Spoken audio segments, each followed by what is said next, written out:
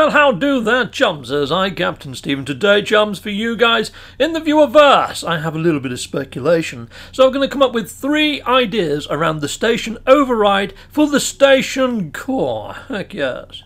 So now, chums, I'm going to start with the most sort of out there, most mind blowing idea first and work down to the most, well, what I think is probably most likely. So here we go. The first one, chapter one, alternate verse. So I think maybe you could input your station override and it jumps you into an alternate reality, perhaps into the realm of glass, the void, or the abyss. I mean, sometimes inside of these stations you come across some very sort of displaced travellers, don't you?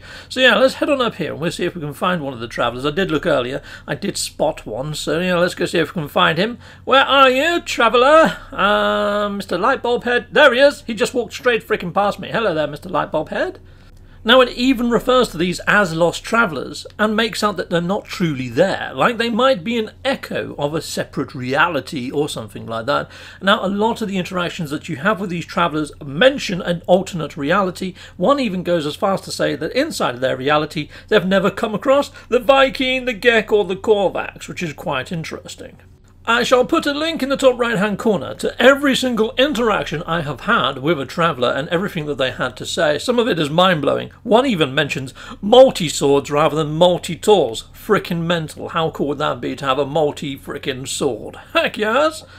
Now, one interaction, I believe the one with the multi-sword, actually goes to talk about their own king. Their own leader of their verse is a king, and they want to seek out the leader of your verse, and you can actually claim to be said king, which is pretty awesome. But they want to lay to waste and war against us, and that could explain things like maybe these abandoned stations that are blown to heck and haven't got a core in the background here. So maybe the core in these got burnt out, and perhaps Jump in Reality got them stuck in between that reality for a while a little bit like Event Horizon the movie, and that would explain all this gunge and weirdness going on here. If they do implement waterfalls, I hope they do a better job than that. Fudge and heck, that's just freaking weird, isn't it? Yeah, but there we go. Awesome. So yeah, it could explain why we've got all these abandoned stations. It could tie in quite nicely to this, couldn't it, really? If the station override lets you jump dimensions, and perhaps when you jump dimensions, it awakens some of the sleeping evil upon planets inside that system. Perhaps we're going to be given 16 minutes to go and kill the evil festations that inhabit the worlds, and yeah, take them on. Maybe use the myth beacon, perhaps in conjunction with trying to find these monstrosities and weirdness, and perhaps the station override, like I say, gives you six minutes to go and loot some pretty awesome stuff that you just can't get in our verse to bring into our verse from the alternate verse. I guess, uh, yeah, I quite like this idea, but is it possible? I don't think it's very possible. Heck no, we'll get to that in a bit. So here we go. Here's idea number two. So, chapter two is station ownership. So, yes, we become the overseer of a settlement. Now, funny enough, it uses the wordage of overseer, flight path overseer, on the actual console behind us. So, perhaps we can become a station overseer. Now, you can see here, if I go into camera mode from right back where I am and look at these little kiosks, there is nothing there. Like Lego blocks are waiting for something to be inputicated into them. So, perhaps you might be able to choose your kiosk sort of vendors and what sort of market values or even the trade type for the system and said, well, maybe it starts off as a one star, and maybe as you go along, just like our settlements, it upgrades in rank, and maybe becomes a three star. Heck yes, you know, and how you are with your citizens could set the conflict zone. So yeah, it could be quite cool to have ownership of your own station. It really could. So maybe owning your own station allows you to register it as a hub against the Galactic Atlas, which is like a separate website and entity at the moment that Hello Games has to look after. Perhaps this could tie that in and make it automatic to take some of that burden away from the Hello Games team, and also it could let you set up maybe a local fire team, which is like your local mini instance, so you can run missions together without worry of other players interfering, or even have maybe up to 12 other players inside of your guild. Perhaps you could register it as a guild as well as a hub I mean, this could come very hand-dangly, fangly awesome for doing weekend missions and also running station missions. Perhaps they might do a mission overhaul. And look, there are about 12 lines upon this thing here, so maybe they're going to put 12 landing pads inside of the actual station and expand the station out. Perhaps the station is going to change in look and feel. That could be a thing, couldn't it? I guess it could.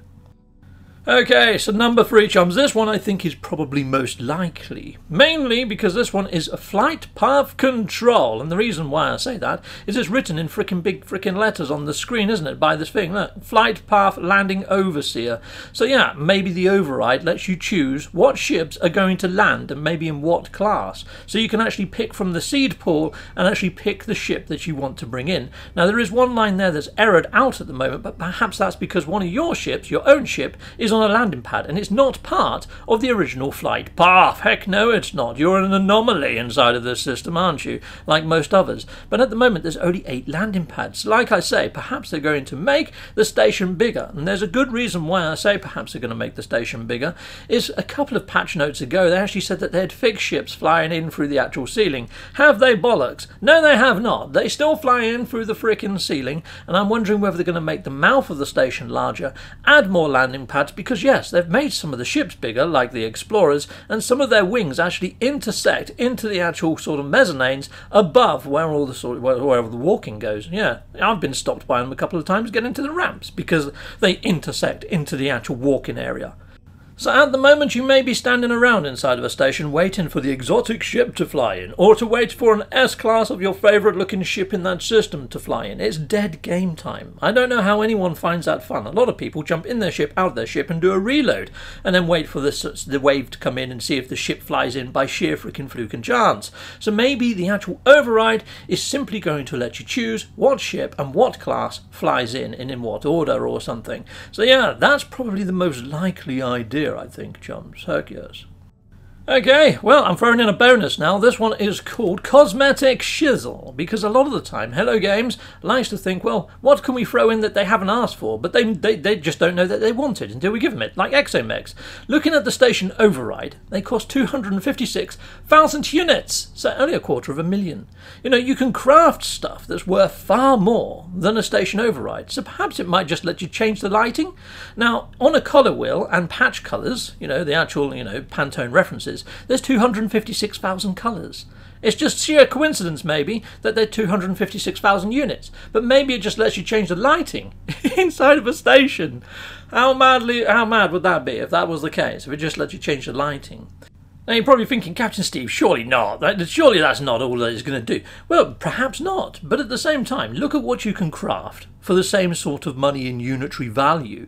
Now, yeah, you could have well, that's that's just takes the mic. Now that's that's again. But look, you know, just a circuit board is three times as much almost, or even a semiconductor is almost the same in price. And you can make some of these things fairly early game. In fact, you get given a lot of this stuff when you send frigates out on missions. Living glass, what? Twice as much as a station override, you say? You see what I mean? They're not that very high in monetary value. It depends on how we get rewarded these things, doesn't it, people? You know, because otherwise, I, I kind of think that we're probably making a bigger deal out of this than what it actually is going to be. I mean, they have teased it to us for freaking umpteen amount of time, though, and made us think that it's more important than probably it's going to be. I mean, it could just be that after you've actually popped the station override, you come and see this embassy up here, and perhaps they give you something a little bit gnarly. You know, it could just be a lot more recognition, or maybe they give you triple amount of what they would normally give you. So in this case, I might just get a bucket ton of freaking nanites.